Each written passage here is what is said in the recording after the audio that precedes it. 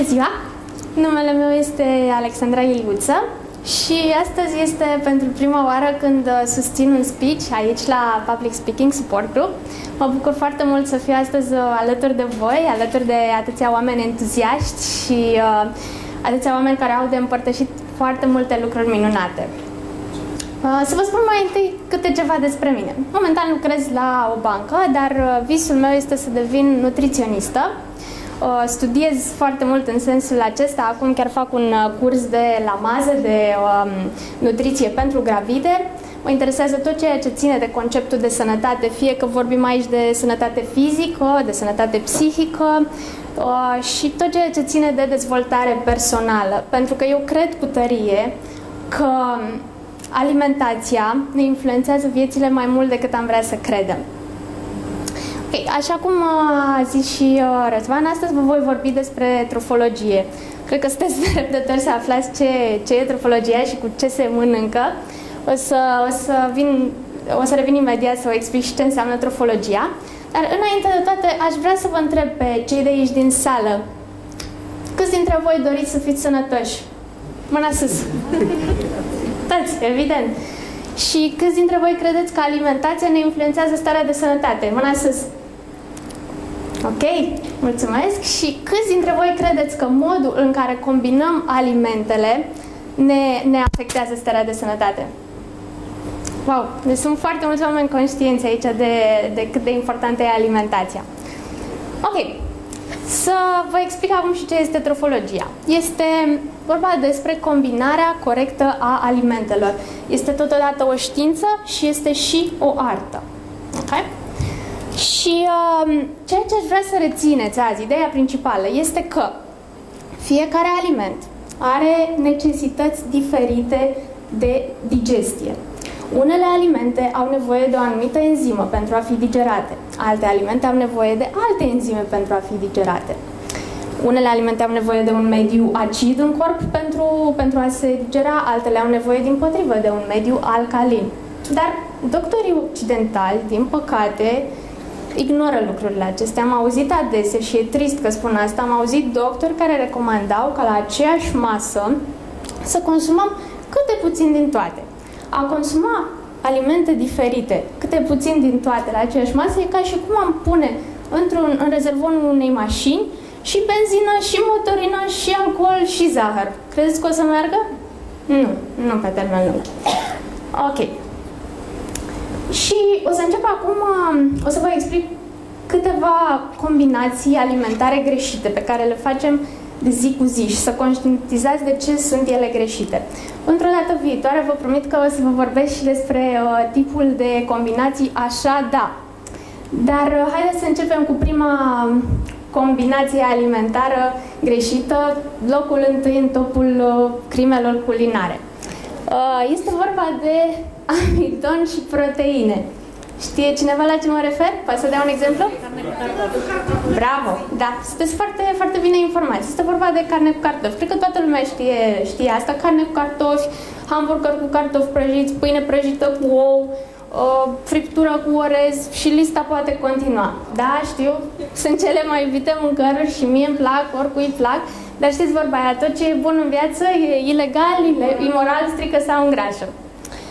Da, acum și să vă explic și de ce este greșită. Uh, amidonul, cartoful în cazul nostru, are nevoie de o anumită enzimă, o anumită tialină pentru a, se, a, a putea fi digerată. Și atunci când noi o amestecăm, hrana se alcalinizează, saliva se alcalinizează și creează în corp un mediu uh, alcalin. Apoi, dacă, dacă mai combinăm și cu friptura, aceasta are nevoie de o altă enzimă, se numește um, uh, pepsină și creează un mediu acid în corp atunci când o digerăm. Acum, ia imaginați-vă ce se întâmplă în momentul în care amestecăm aceste două, aceste două enzime. Ce se întâmplă? Exact ca la orele de chimie, dacă vă amintiți. Atunci când adăugăm o măsură de alcalin la o măsură de acid, rezultă o substanță la fel de neutră ca și apa chioară. Corect? Da. da. Ok. Deci, ca regulă, trebuie să evităm să mâncăm amidonul și proteinele la aceeași masă. Apoi, uh, haideți să trecem la o altă combinație uh, greșită. Înainte de asta, uh, mi-am amintit acum niște statistici interesante în legătură cu, cu prima combinație, că știți că astea sunt mâncărurile de bază ale americanilor, cartofi prăjiți cu carne. Uh, ei, uh, se pare că în stomacul unui american de rând, există 2 kg, aproximativ 2 kg de carne nedigerată. Deci vă dați seama. Și nu mai spun că în momentul în care noi combinăm aceste două tipuri de alimente, proteinele uh, putrezesc în corp și amidonul fermentează. Și rezultă de aici o groază de probleme, cum ar fi uh, constipație, balonare, arsuri la stomac. Uh, plus că suntem foarte obosiți. Nu știu, câți dintre voi ați remarcat că suntem obosiți după o masă din asta copioasă și ne scade nivelul de energie? Da. Exact cum așteptam. Ok, haideți să trecem și la a doua combinație, că timpul e scurt. Um, este o altă combinație iubită de noi și poate uneori nu conștientizăm cât de greșită e. Este vorba despre proteine cu zahărul. Atunci când mâncăm un desert după o friptură, de exemplu. Ce se întâmplă? Uh, zaharurile nu, um, nu uh, permite secreția sucurilor gastrice în stomac. Și ele merg direct în intestinul, în intestinul subțire, nu mai trec prin stomac. Dar în momentul când înainte mâncăm și o friptură, aceste zaharuri, fie că vorbim de fructe, ele rămân blocate în stomac și nu mai fermentează și, și pardon, mă scuze, și fermentează. Și bineînțeles că nici una, nici alta nu se pot digera. Nici dacă mâncăm fructe. Avem impresia că dacă mâncăm fructe după o friptură, wow, ce masă sănătoasă am luat. Dar nu, fructele respective nu se asimilează cum trebuie, substanțele nutritive, vitaminele din fructe nu se mai asimilează. Ok, să trec și la următoarea combinație. Amidon plus amidon și zaharul. Este la fel ca, ca această combinație uh, precedentă, proteine plus zaharul. Nici, uh, nici amidon în prezența zaharurilor nu se va digera cum trebuie. Și să vă dau un exemplu uh, pe care îl mâncăm toți, cred că la micul dejun, pâine cu și cu dulceață. Este una din cele mai proaste combinații posibile. Bineînțeles, pâinea cu untru separat e ok, dar dacă mai adăugăm și dulceață, nu se mai digere nimic cum trebuie. Și se depune ca o poșghiță pe intestinele noastre. Ok, uh, haideți să mai vin cu o combinație.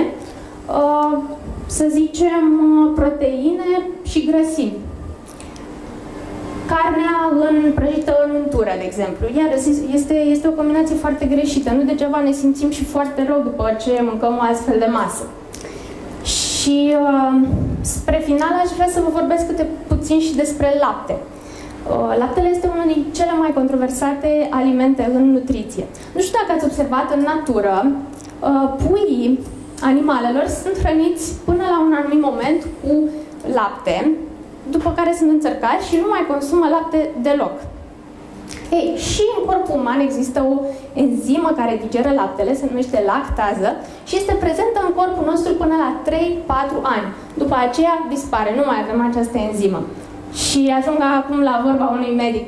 Laptele de vacă este pentru viței. da. Deci, um, bineînțeles, laptele crud, integral, este un aliment proteic complet.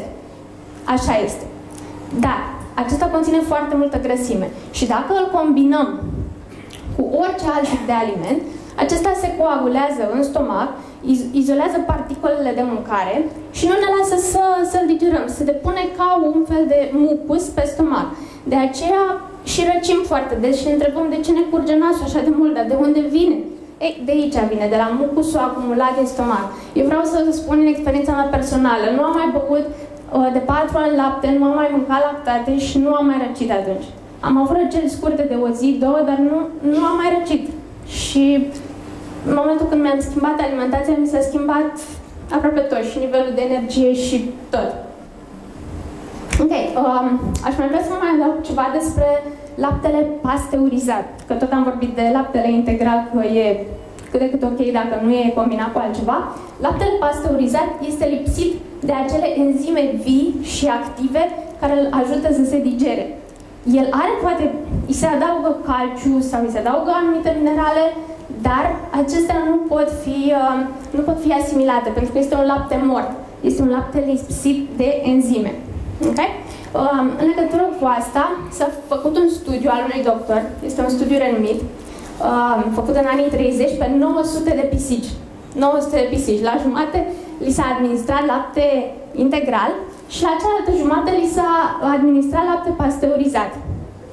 Ce credeți că s-a întâmplat?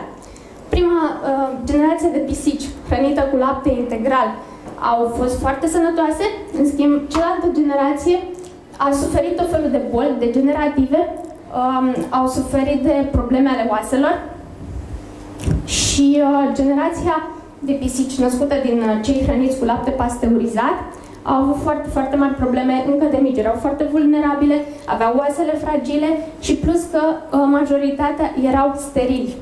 În schimb, uh, pisoii hrăniți cu lapte integral s-au, uh, s-au perpetuat și au fost sănătoși.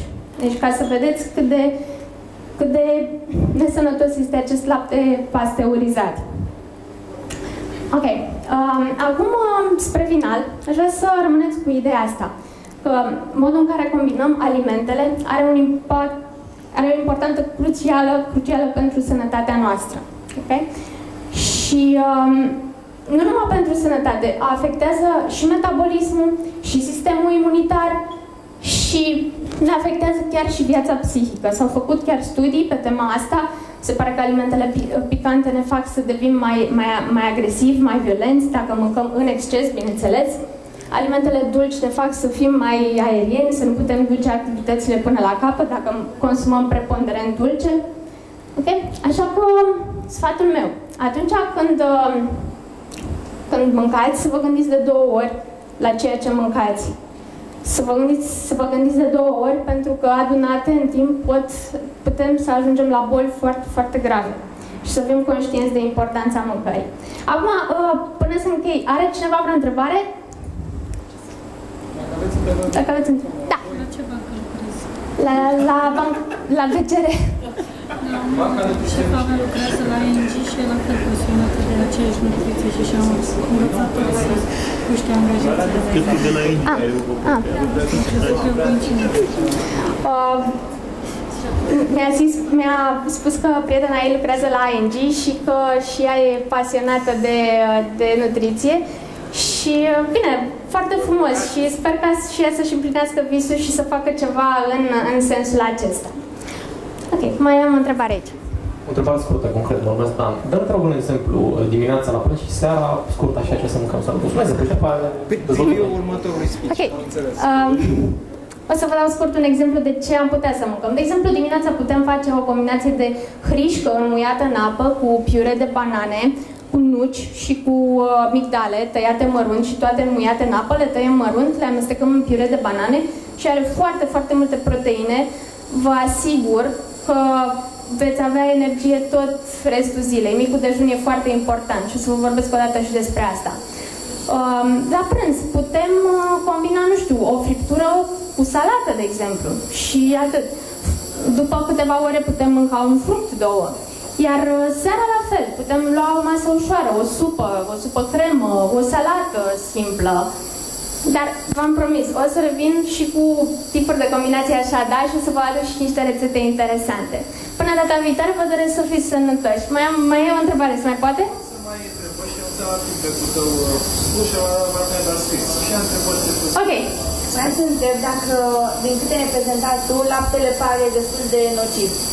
Și totuși, în general, e recomandat ca făcând parte într-o alimentație echilibrată. Până la urmă, trebuie să consumăm lapte, n-ar trebui... De am și spus că este un aliment uh, controversat. În, uh, în America, nu știu dacă ați văzut în reclame, că consumați lapte toată viața, vă va menține sănătoși, nu veți avea osteoporoză. În America, unde se consumă cel mai, cele mai multe lactate, este incidența cea mai mare de cazuri de osteoporoză. În schimb, în Orient, în China, nu se consumă aproape deloc lapte. Adică a fost recent o cunoștință de mea și mi-a zis, păi nu aveau lapte, deci nu aveau lapte. El îl consideră ca și purgativ îl, îl consumă. Și incidența de cazuri de, oste- de osteoporoză este foarte mică acolo, aproape deloc.